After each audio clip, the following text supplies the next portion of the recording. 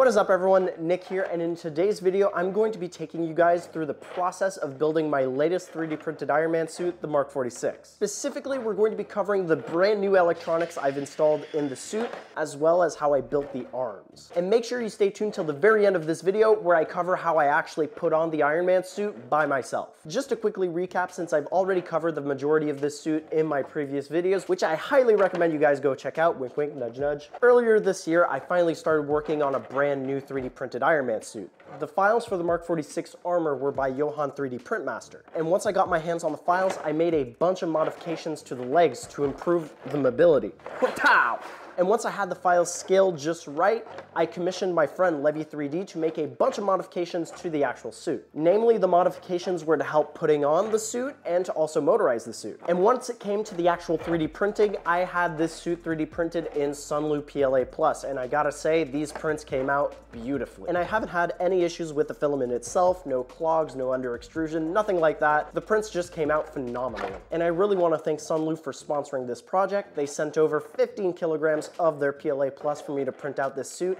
And I have to say, with all the modifications I made to the suit, I had to do a lot of prototyping, and that means that a lot of filament went to waste. So none of this would be possible without Sunlu's support, so thank you very much. But now that we're all on the same page, let me take off the suit, and let's check out those new PCBs that we're going to be using to motorize the chest and the back. Okay, how about we open up this, voila. Oh, it's just styrofoam. Empty box, toss this aside.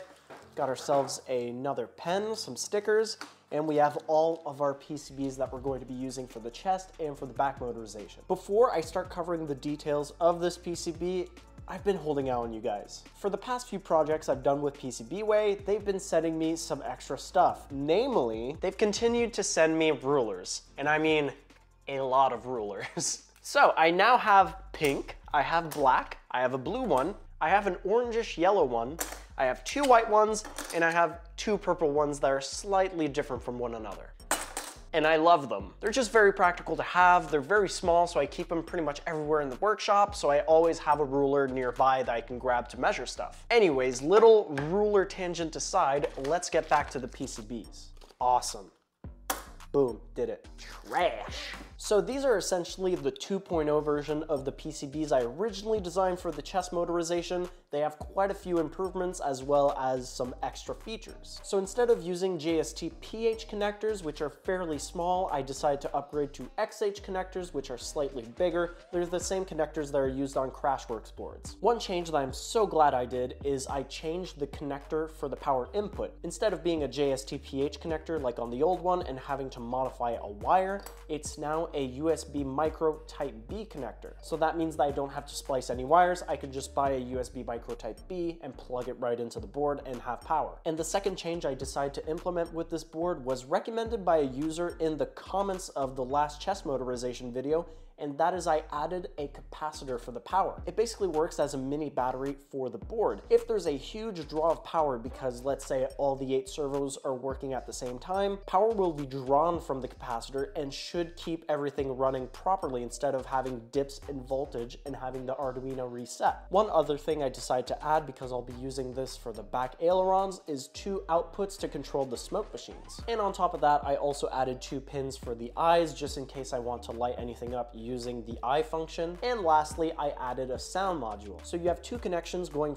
from the DF player to the Arduino from the TX and RX pin for serial communication. You have another two wires going to your speaker. And lastly, the only other thing that you need to get this to work with the Crashworks code is an SD card with the MP3 sounds uploaded to it. And the cherry on top of this whole thing is I added a Mark 46 to the back of the PCB just to be extra cool. Because if you didn't know it already, coolness improves the effectiveness of a PCB by at least 10%. So the very first order of business with this PCB is not going to be the through-hole connectors that we need to solder. It's actually going to be the tiny resistor that goes right here. It's a surface mount resistor. So instead of using a soldering iron like we usually do, we're going to be using solder paste and a very hot element. So in this case, I'm just going to be using my heat gun because that's all I have, but it should do the trick. So the way I understand it is soldering paste contains microscopic beads of solder all suspended suspended in some sort of gel, and the solder, as it starts melting, sucks up whatever surface mounted element you have into its correct position. And here we have our final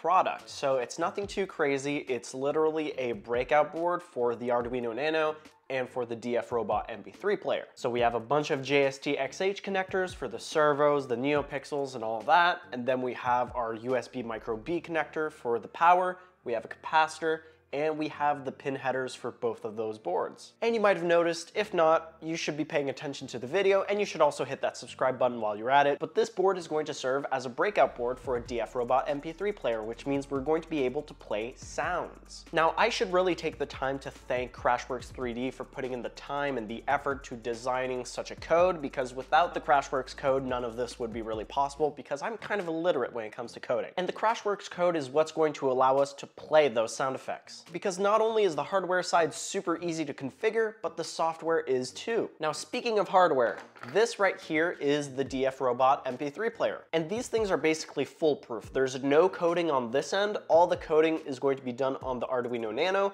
The only thing we need to configure are the sound effects on this SD card, which slots in right there and there are a bunch of pins on the back of this, but we're only going to be using six of them. The first two is going to be pretty obvious. We're going to need power and we're gonna need a ground to get power to this board. And the other two are going to be for the serial communication. So one of them is going to be the serial transmitter, which is going to transmit to the serial receiver on the Arduino Nano. And the other one is going to be the serial receiver, which is going to receive serial communication from the transmitter on the Arduino. And then we're going to have two more pins, which is going to be for the speaker. And that's it. We only need six pins on this board to get it to work with the Crashworks code. So before we get started with the modifications I made to the config file and to the code to get everything to work, I might as well show you guys what it's gonna look like. So we're gonna plug in our DF Robot MP3 player into the board. We're going to plug in our Arduino Nano into the board as well. We're also going to plug in the speaker right here. And we're also going to be plugging in some NeoPixels into the board because I slightly modified the code to run NeoPixels. And if I just grab a cable for power, so I'm gonna plug this in right here and I'm gonna plug in the battery right here. Both lights just turned on on the board and we should start hearing sound now. And then of course we have the Crashworks Jarvis boot up. And to turn this on, I'm literally just gonna use a set of pliers to make contact between the pins because I haven't wired up a button yet, but just like so, sound works and we have the NeoPixels that are on. And if I press it again, sound, and the NeoPixels turn off. The sound effects that just played on this board are not the traditional Crashworks 3D helmet sound effects. I programmed my own because this specific setup is going to be in the back of my suit for the back flaps, for the ailerons. So the yellow lights are going to simulate the jets and the sound effects are simulating the suit flying off and landing. So I'm gonna move all this aside and we're gonna focus on the coding. Has it become obvious yet that I record these on like different days? No? Good. So what we're gonna do is jump on the computer and we're going to open up the Crashworks 3D folder that we've downloaded from the GitHub. If you haven't done that yet, I'll leave a link in the description to the GitHub page to where you can download it. And we're going to open up the config file. So I created a brand new folder with the Crashworks code in it called Chess Motorization Crashworks. That way I don't get confused with which is which.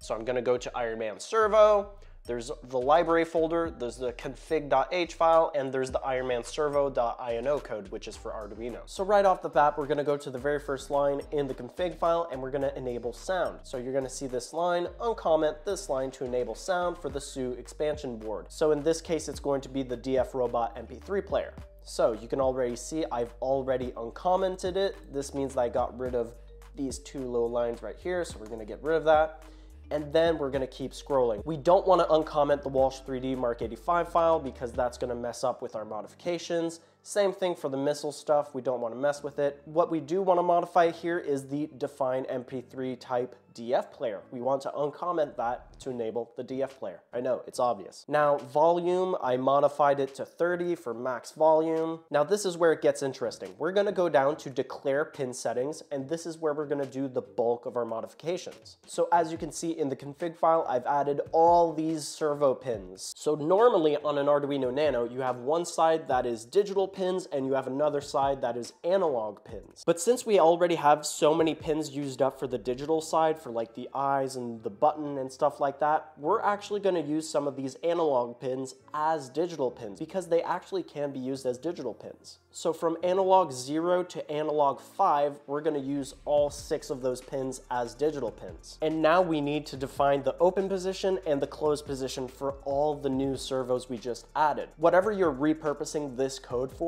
I recommend just setting all of this to 0 for now for the angle and testing it later once everything is built out. Also, one other recommendation, do not install the servo arms onto the servos once everything is built out. Just install the servo in place, run your code, and check what direction the servo goes in because it might go in the wrong direction than you actually intended. And that'll just keep you from breaking anything. And once you've figured out which direction it goes in, you can modify the config file, save it, re-upload the sketch onto your Arduino Nano, and then you can keep testing until you have the perfect servo directions, the perfect servo angles for all of your servos in your project. So right here we have disable servo after open set to true, Personally, what I ended up doing since I wanted different servos to be enabled and disabled after opening and closing, I did the bulk of those modifications in the actual code. I didn't really mess around with the config file for this. Now we have the button pin, we have the left eye pin, the right eye pin, and then we have all of this auxiliary stuff that we're just not gonna mess around with because we're not using this particular part of the code. And then at the very bottom of the config file, we have all the different effects settings for the eyes when it opens and closes, how they turn on and whatnot. But again, we're not gonna be messing around with that. We just want to mess around with the servos. So once you've saved the config file, we can finally open up the ironmanservo.ino file for Arduino. Once this is open, we can start scrolling down. You'll see it says hashtag include config, so that means that the config file will be implemented into the code and make the necessary modifications. Now here's where it gets interesting. I added a bunch of stuff to enable NeoPixels. So the first line you're gonna see here is hashtag include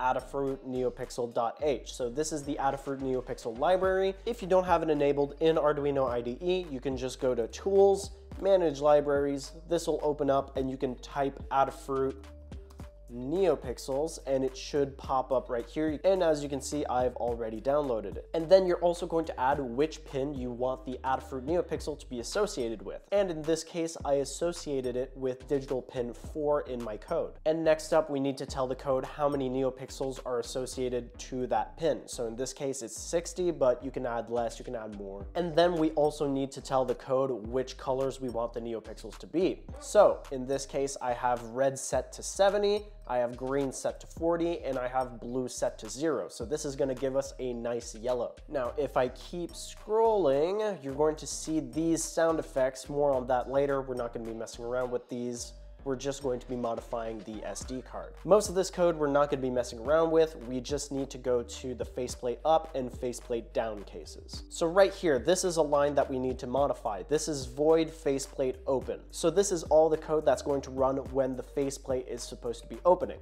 So the very first line of code I added to this is this block of text right here. This is for the NeoPixels. This is going to turn on the NeoPixels. So if the servo is detached and it's not in the correct position, the servo attach command is going to reattach it and it's going to place it in the closed position before actually opening. Now you'll notice I have servo 3, 4, 5, 6, and 7 and 8 attached. The reason why I did this is while I was testing originally with the old PCB board, sometimes if I had all eight servos attached at the same time, the Arduino would reset. So I decided to have a few of them attach and a few of them move and then have the top panel attach and move. So all six of these servos attached at once, and then we have the servo write command. So the write command is going to tell the servo what to do. In this case, servo 3 dot write, servo 3 open position, so it's going to go into the open position.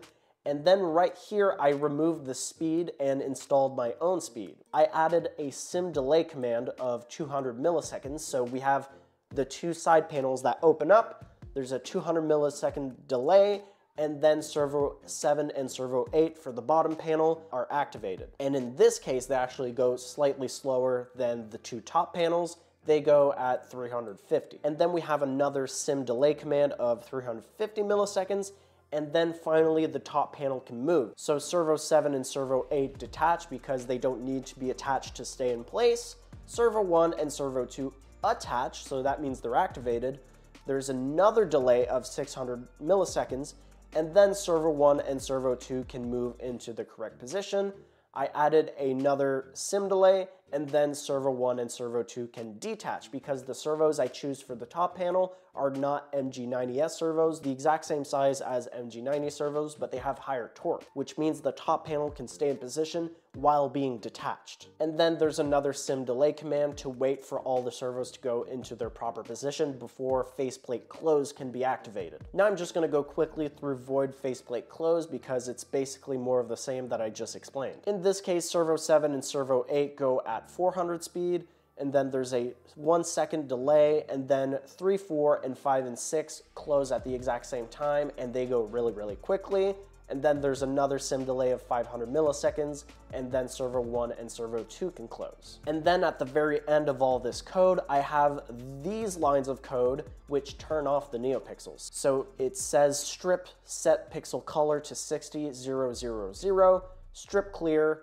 and then strip show, which means it'll show whatever settings I just added. And that should turn off the NeoPixels. And that pretty much covers all the modifications that I made to the code itself for the chest motorization. If I wanted to do something like the back flaps, I would do something very, very similar to this, but I would add even more sim delay commands that way I can have the servos stagger, so that means that the ailerons look like they're stabilizing. And now we can finally talk about the MP3 files. So when it comes to the chest motorization and the sound effects I want for it, I think I'm going to keep the Crashworks 3D sound effect for it closing, but for opening, instead of having the sound, I'm actually going to use some sound effects from the first Iron Man movie. Now what I'm going to do is I'm going to go to YouTube, I'm going to find the Iron Man Mark II suit up sequence, and I'm going to download it as an MP3. And in the meantime, I'm going to download Audacity. It's an open source audio software editor. So once I've opened up Audacity, I can just drop the MP3 that I've just downloaded into it and you'll see this giant blue bar. So this is all of the sound from the scene we just downloaded. So I quite literally just want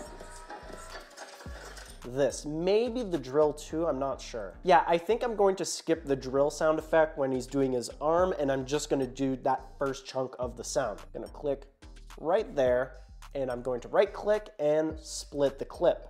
Now I can delete this front end, click on cut, drag this forward right there, and then go, where does it end? I'm gonna go right there and split it again, and I'm gonna delete the rest of this audio because I really don't need it. So we're going to end up with one clean sound effect, not too much music playing in the background, which is perfectly fine. Now, what I do wanna mess around with a little bit is the sound, like in terms of how loud it is. So I'm gonna go to volume and compression and click on amplify and apply. Now it's gonna increase the sound by quite a bit. It's loud now. Now, what I don't like about this is how abrupt it ends. So I'm gonna click on this little tool right here, the envelope tool, and I'm just gonna add these dots to the uh, sound. Now, basically, I'm adding a curve to it, so it's going to fade out near the end of the audio. So if I just move these around, I should be able to get it to where I like it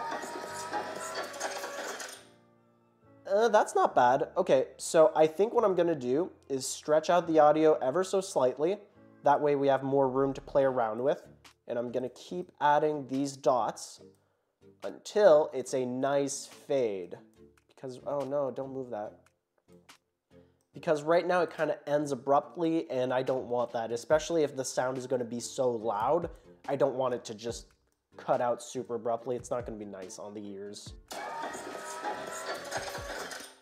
That works. See, that's exactly what I'm looking for. Perfect. So now I'm gonna grab the SD card. Now, if you haven't done it already, I recommend getting yourself an SD card and uploading all the MP3 files from the MP3 folder in the Crashworks 3D folder. So there should be like seven files in total, and the one we're going to be replacing this one with is 0003, because 0001 is the closing sound effect, and 0003 is the opening sound effect. And I'm gonna take my micro SD with all the sound effects preloaded onto it. I'm gonna plug it right in. It should load up on my computer, that's perfect. Now I'm going to go to File, export audio, and you wanna make sure that we have these settings installed. So we have mono because we're just using one speaker. Um, we have the correct uh, sample rate and whatnot. And we're going to rename the file 0003 and we want it to upload to our SD card folder. And once all of this is set up, we can export and it's going to tell us that that file already exists on the SD card. Yes, we want to replace it. Plug it back into the DF player and we can turn it on. First, I'm just gonna plug in a speaker so we can actually hear it. Uh, speaker goes right there. I got my battery right here. I'm gonna plug it right in. Now everything's booting up and we should get the Crashworks sound effect.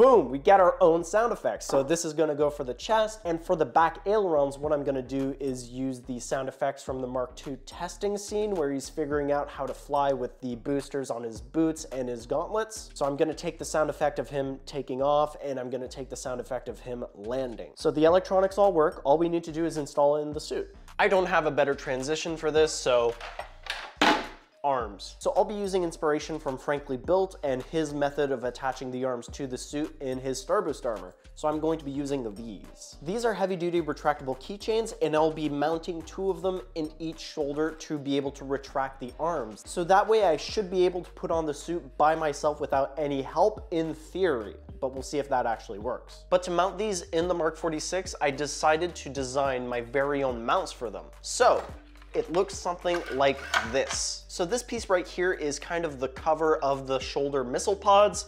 I slightly modified them so that the missiles and the cover are all one piece, so this is a friction fit in the shoulder. And underneath this part, I designed slots so that I could feed in these plastic bits from the retractable keychains. And on the other side, I have friction fit mounts for the retractable keychains in the shoulder. So they look something like this. This was designed in 3D Builder, it's literally just two slots that perfectly fit in the retractable keychains. And this used to be like a giant rectangle like this, but using the subtract tool, I was able to make a cutout for the shoulder so you have all these detail lines that perfectly correspond with the shoulder piece. So this glues perfectly in place. Instead of trying to glue a flat surface into a curve and only have certain edges making contact with the part, this entire surface area of the mount is making contact with the shoulder. So all of this is glued into the shoulder. So honestly, I don't see this breaking off anytime soon. Okay, a little bit of a time jump. So basically, I ran into a few issues when it came to the And again, this is why I always say that whenever you're testing something, do not test it in a vacuum. Test it with the rest of the equipment you're going to be using. For example, the arms I had printed earlier in the video worked fine on their own. I could put them on, they fit comfortably, they moved around perfectly, it was fine. But as soon as I rigged it to the shoulder and rigged the shoulder to the rest of the torso, everything got out of whack. The biceps would collide with the torso, which would make the arms sag slightly lower, and the wrist portion of the forearm would be basically over my thumb. It was ridiculous. And on top of that, it was just really uncomfortable around the armpit areas, and as the arms would sag, it would pull on the shoulder, and there'd be a giant seam where the shoulder should meet the torso. So I went back to the drawing board and I started rescaling the arms. I started with the biceps and I made them slightly bigger on the X and Y axis. I didn't change the height, the height is fine. And instead of dremeling out this section of the armpit area and around the elbow so that it wouldn't pinch my armpit, I guess? No, elbow pit? I don't know. Point is, instead of dremeling all this out, I decided to go back into Blender and make those cuts in Blender. So I made a bunch more room around the armpit area and I made this transition along the elbow a lot smoother. That way I don't pinch myself accidentally. Also, I should add that I got really lucky when it came to the double hinge on the elbow. I imported the files into 3D Builder and I clicked on separate objects and that separated the hinge system from the actual arm, which meant I could scale this however I wanted to and then refuse it all back together without changing any of the proportions for the hinge. So one other thing I decided to do for the arms is shorten the forearms. So now it's quite a bit shorter. I think I reduced it by like two, maybe even three centimeters. And on top of that, I decided to fuse this inner arm panel. Number one, there's not gonna be any crazy electronics inside the forearm that I need to sort out, like on the Mark 20 with the lasers and the missile launcher. At most, there's going to be a light on the forearm, and there's also going to be a battery pack to power everything. And on top of that the hole around the wrist is quite wide, so whenever I do put the arm on, my hand slips through without any issues. And with the old set of arms, I had it sitting super high up on my arm, so whenever there was like some sort of torsion around the armpit, it would automatically sit down. So now the arm naturally sits in this position, which is exactly where it needs to be for my wrist now that we've shortened the forearm. And even if I move my arm around and it collides with the body, it's not gonna get any lower than this. It's gonna stay here, as opposed to being here and sliding all the way down like this. And once I 3D printed the entirety of the arm, I just repurposed the hinges from the old arm into this one, added some new threaded inserts, and assembled everything, and it works perfectly fine. And one other thing I went ahead and did is added a buckle on the top of the bicep right here, which buckles into the shoulder. Now let me grab the entirety of the torso right here. There we go. Ta-da! We can just, whoa, attach this right there, and there you have it. But now that we've covered the arms, I will be showing you guys what's going on on the inside of the torso now that I have all the new electronics installed. Ah, there we go. There we go. So let me sit this aside for now, and let me put this right here. So it's nothing too complicated on the inside of the back. We have the battery pack right here. We have the USB cable right here to plug into the battery, which leads to this 3D printed case right here, which is Velcroed into the back. And in terms of wiring, there's not a whole lot going on here. We have the USB cable, just like I mentioned. We have four wires here for the four servos for the ailerons, and we have this little speaker glued right into place. Everything else is inside this little case. So we have the PCB connected to the Arduino, we have the Wemos D1 mini board for the wireless communication, and there will be some more electronics in the back soon. I still have to build the new fog machines and make a video for how to build those fog machines. They'll, they'll be coming in 2024, I promise. Same thing for the wireless control boards. But yeah, not a whole lot going on here, which is just how I like it. This means that there's way less points of failure for things to go wrong, and there's a lot less to set up, a lot less to configure. So if anything does go wrong or bugs out, it's really easy to diagnose and to fix. And this whole setup right here is very similar to what we have in the chest. I've already talked at length about the chest motorization in the last video. The only difference is there's four extra servos inside this. So I'm gonna set this aside and we're gonna start suiting up. Now let's see if I can put this back on.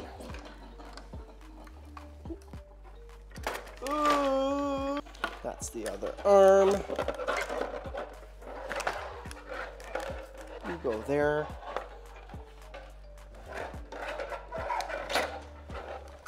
You go there. There we go. Awesome. Okay, the suit's back on. Nice. If I grab this and I open it up again, which button is which? So the second button is for the back flaps. Hopefully you guys can hear the sound with the mic in front of me.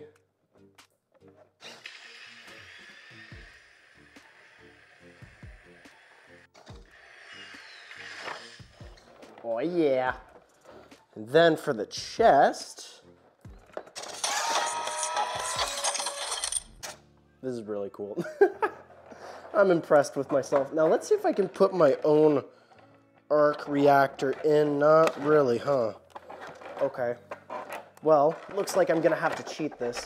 I wasn't expecting to be able to pull out my own arc reactor. It's more of a gimmick for people to, you know, try out for themselves while I'm wearing the suit. Grab that, stuff that in there. It should boot up in just a second.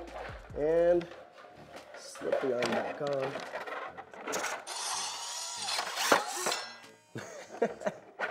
oh, it still hasn't turned on. That's weird. Oh, there we go.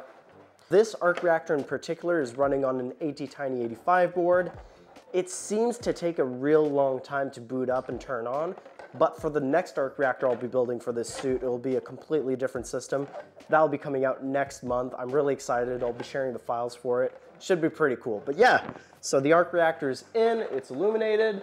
I'm wearing the entire suit. The only thing I'm missing right now, and I'm currently printing, is the neck and the rest of the helmet. The gloves I already have printed. I just haven't had the chance to assemble them. But yeah, the suit is basically ready to go. There's no inherent flaws or any red flags coming up. I think I'm ready to start disassembling this thing and starting to sand and paint it. This is so cool. Dude, this is wicked. Then let's do the ailerons one more time just so you guys can see in the light.